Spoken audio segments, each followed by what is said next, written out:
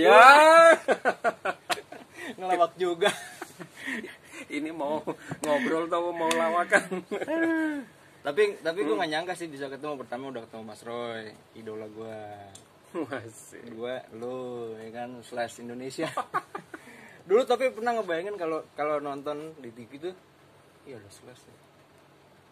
dengan pakai itu itu gimana sih emang lu ngeband pakai itu dari awal atau di konsep ketika lu masuk major atau gimana tuh mas? Kagak ada itu ituan ya. Nggak ada maksudnya dalam apa kepikiran bahwa me- mengon- men-set up diri saya. Mhm. mau meniru kayak apa kayak slash gitu. nggak ada. Nggak nggak kepikiran berarti? Nggak ada. Waktu itu saya sendiri waktu waktu bumerang keluar ya 94 itu eh, kitanya juga nggak terlalu ke aware sama ini band Guns N' Roses juga. Hmm, enggak malah. Ya biasa aja gitu. Biasa aja ngikut dengan stylenya Mas Ipan gitu. Kebetulan mungkin rambutnya pas lagi kriwul terus pakai les Paul orang identiknya nih oh ini mirip-mirip kayak band Dimiripin. ini eh, kayak band GN, GNR atau apa ke Iya. slashnya. Padahal enggak juga. Eh, tapi tapi emang iya sih gue bilang, "Ih, jadi jadi ikonik gitu. Isi, ngopi Hmm, dulu. gitu. ngopi dulu lah. Jadi ngopi ya kan? Ya karena lu lucu. Nggak mas Roy mas? Ipan lucu idola gue rock ya kan lucu kayak begini enak sih. Kita lulusan dari Sri Mulat sih. Karena emang pusing kali ya mikirin mikirin yang harus dipikir lebih serius kali ya. Berarti berarti ketika itu emang emang lu udah keluar aja gitu dengan style lo sendiri karena memang rambut juga kejegak gitu kalau dilihat-lihat sebenarnya nggak nggak nggak sama banget kan. Slash itu lebih kriwul lebih keriting hmm? aku kan keritingnya keriting maut istilahnya semrawut ini mungkin ini aja secara look eh, kalau sepintas orang wih ini hampir mirip gitu. Hmm. cuman orang nganggapnya kayak sama gitu padahal enggak Hmm. secara konsep musik yang kita bawain pada saat itu juga bertolak belakang sama JNR juga nggak nggak sama Iya, iya, iya. nggak sama kok jadi ya mau dibilang mirip-mirip apanya nggak ada Mas, nih di kala pandemi COVID-19 ya kan yang memang udah setahun ini hancur binasa. tuh masih 19 tuh Hah? Eh kayaknya sih besok ganti Mas 20. besok udah ganti 20, kemarin 19 nih, udah 19 udah berhasil nih. covid 20 sekarang salah Ntar berarti bikin dong. berarti ntar bikin COVID 20. Karya terakhir lu Mm-mm. kapan sih Mas? Eh, berarti solo yang kemarin tuh ya. kalau solo solo eh, solo album ya Mm-mm. solo album tuh bikinnya udah di bawah tahun 2000 ya antara 2000 2008 sampai 2013 tuh bikinnya Hmm. Eh, maksudnya apa prosesnya ya Mm-mm. rilis pertama berupa CD fi- fisik ya fisik CD tahun 2015 2015. di bawah distribusi The Majors waktu itu Oh. untuk mendistribusikan aja fisik ya Iya. belum ada digit saya Digital. nggak nggak nggak ada nggak masukin ke digital Mm-mm. baru rilis pulang di, di platform digital tuh 2018 kemarin Hmm. 18 mau ke 19 ini Hmm. itu rilis digital baru baru ada di semua digital Hmm. soalnya saya pikir eh, kenapa dulu nggak rilisnya barengan gitu loh? Mhm. ada fisik ada digital. Kalau saya masukin masukin ke digital juga nanti mubasir ini CD saya. Ya. Ya kan? Secara logika. Iya bisnisnya bakal mubasir. Hmm. digital ada orang tinggal download, Download. apa apa nah saya pikir ah nggak perlu. Saya ditawarin waktu itu sama the Hmm. major. Ini nggak digital sekalian. Nggak usah fisik aja. Heeh. old school. Iya. Biarin yang mau beli eh, ya orang yang memang mau dengerin atau mau mengkoleksi CD iya kan? Iya. Eh, apa istilahnya CD memang sudah waktu itu sudah masa-masa peralihan. Banyak. Iya iya. banyak toko-toko CD apalagi di luar ya. Hmm. kan banyak yang bangkrut atau tutup lah ya waktu itu saya cuek aja. Ya Hmm. saya, saya anggap begitu. Kalau mau beli CD ya terserah. Ya ayo silakan.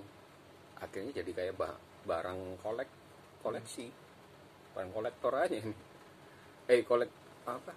Dia kolektor kolektor em, Iya ya, kolektor ini ya CD untuk di untuk di ini disimpan orang atau memang dia pengen dengerin secara enak nyaman berkualitas di di rumahnya Iya. atau di dalam mobil apa. mungkin itu juga Iya, jadi satu satu ijazah buat sebuah anak band atau sebuah musisi harus ada CD-nya Nah itu juga itu juga perlu. Ya kan? Ada ijazah. ada ijazahnya ya kan? Karena mau lagunya apa? Si punya CD enggak kalau cuman digital doang gimana tuh mas? Ada tuh lagunya tuh cuman di Spotify doang. Eh, enggak waktu itu saya mikir eh, kalau orang hanya rilis digital atau cuman single doang satu lagu ini orang-orang yang anu saya anggap nggak pede sama dirinya sendiri. Heeh.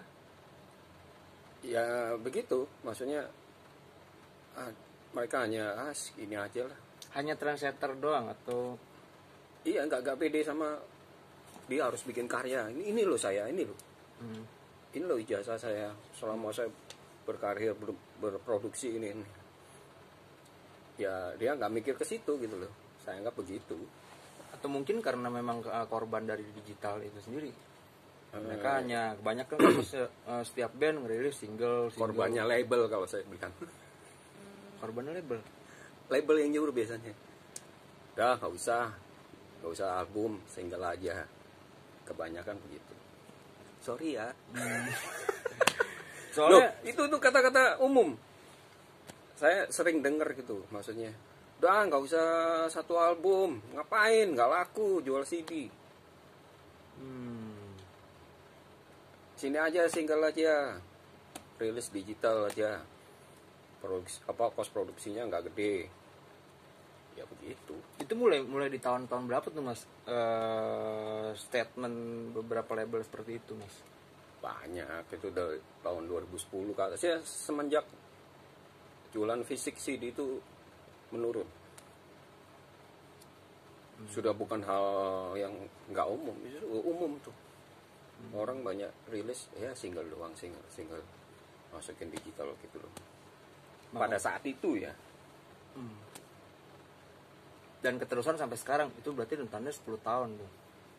Nah, kalau urusannya di saat sekarang, saya menganggapnya bahwa ini sudah memang sudah perubahan. tuh.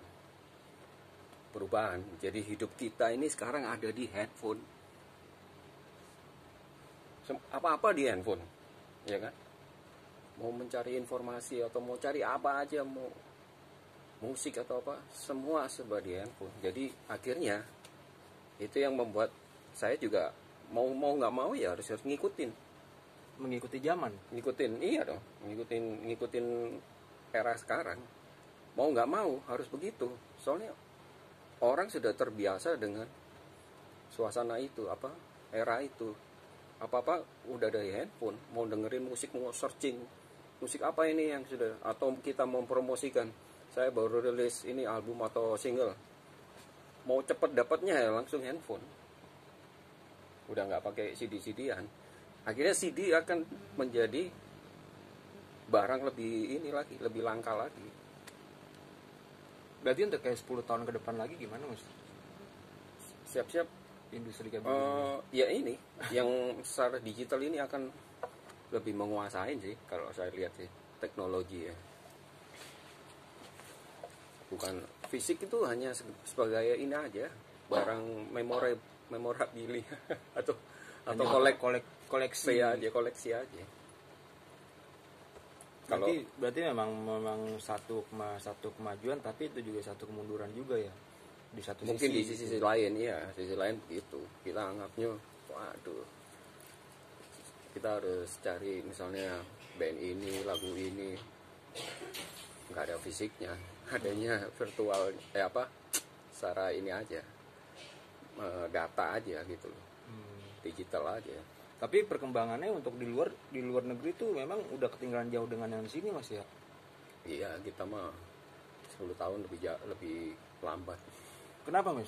Itu kita tuh justru yang lambat dari pergerakannya gitu. ya apa ya in- industri musik memang dari sono kitanya ini kan ngikut-ngikut doang Hmm. secara ini aja secara eh, proteksi hukum atau apa sampai tahun ini aja kan masih belum bisa maksimal 100% masih jauh dibandingin sama luar. Kendalanya apa sih mas? Sebenarnya Eh, dari segi untuk mungkin dari segi-segi hukum ya contohnya untuk musisi deh. Musisi di sini sama di luar tuh sangat jauh beda.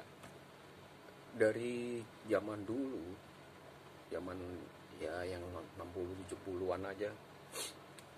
Band-band itu sudah bisa apa ya hidup dari musik. profesi musik. Kalau di luar kan masalah proteksi karya ciptanya royalti dan sebagainya.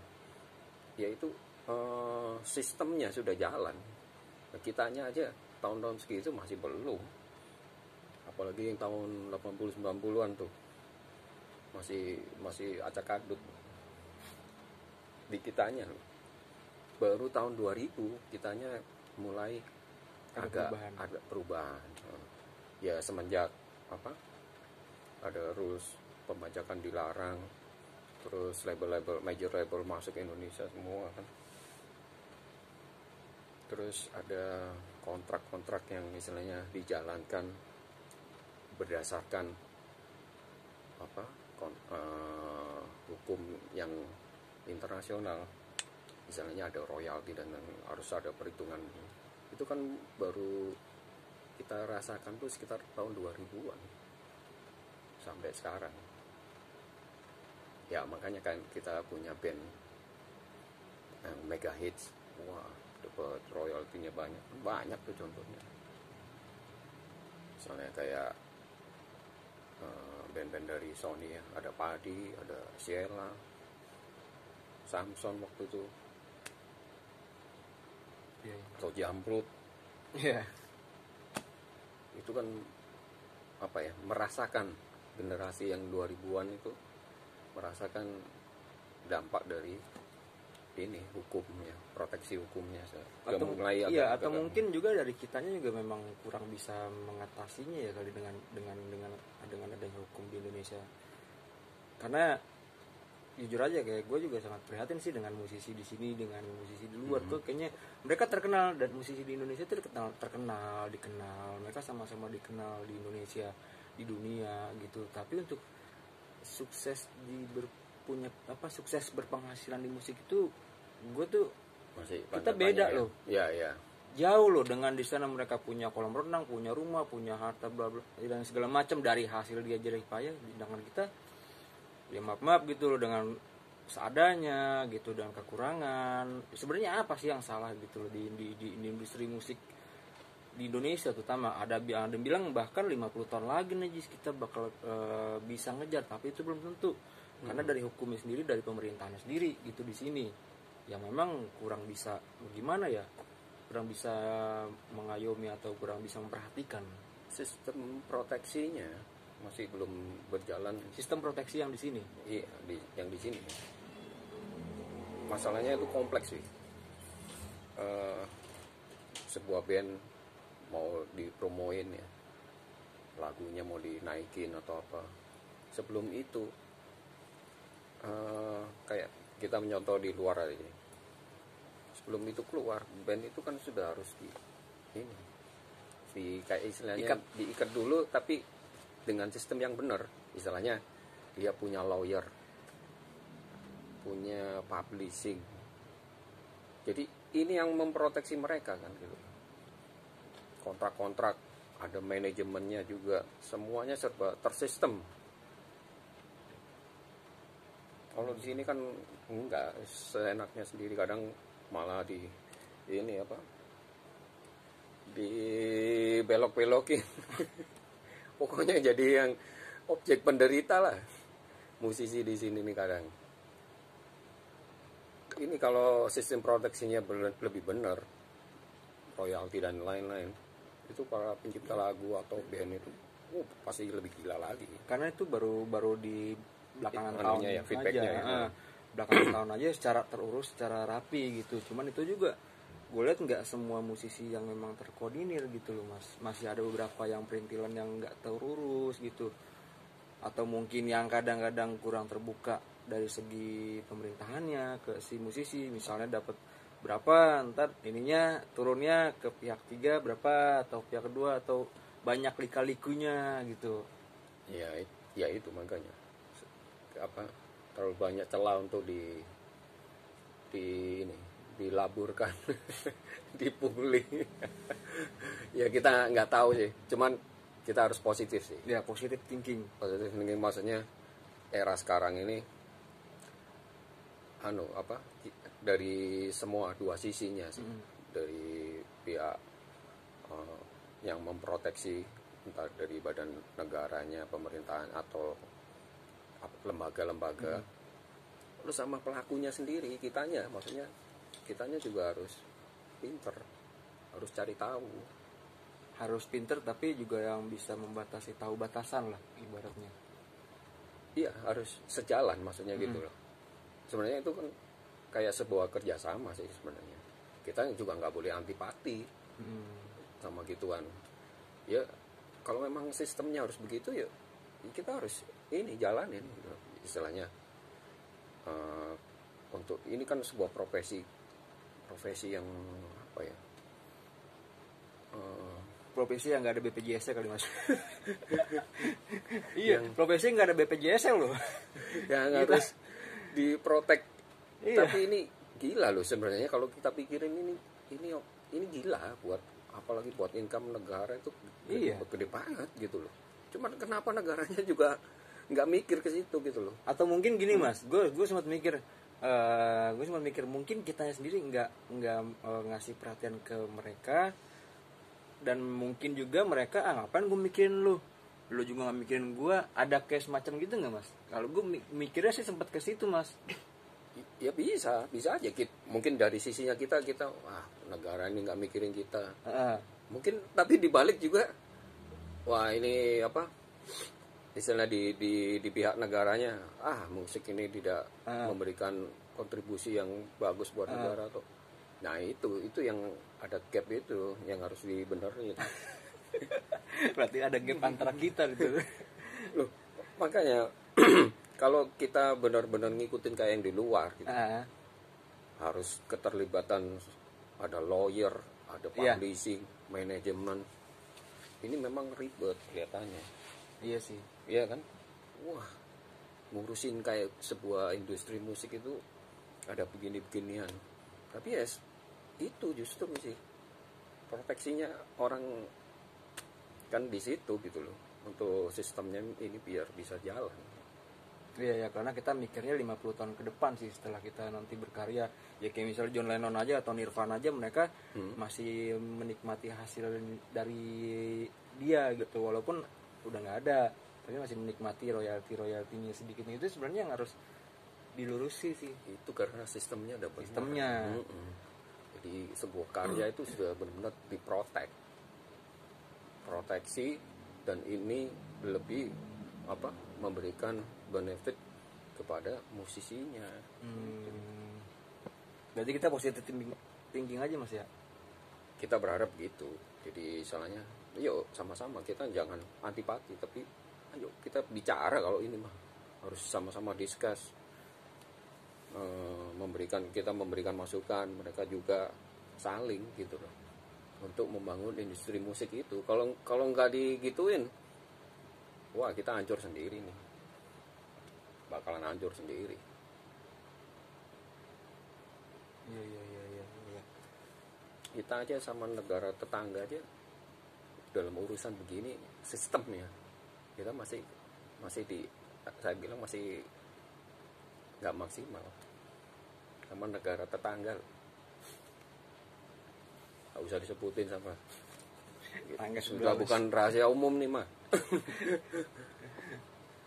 bukannya kita ngomong negara tetangga itu lebih baik dari kita. Mereka juga ada lah oknum-oknum yang Ya. bermain di situ ada.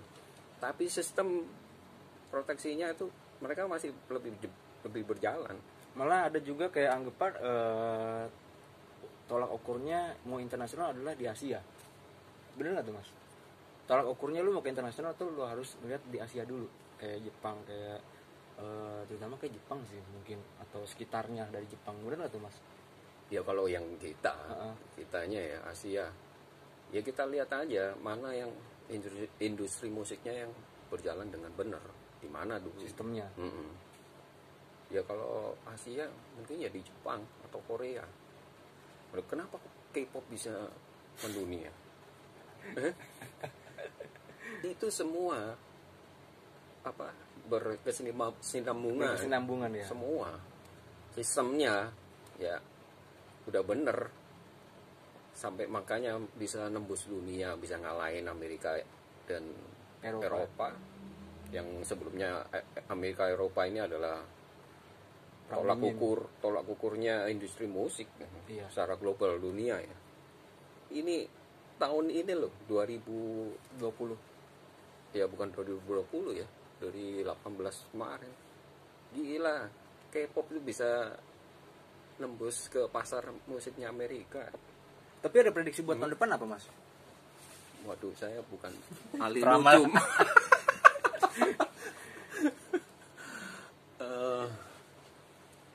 nggak nggak tahu saya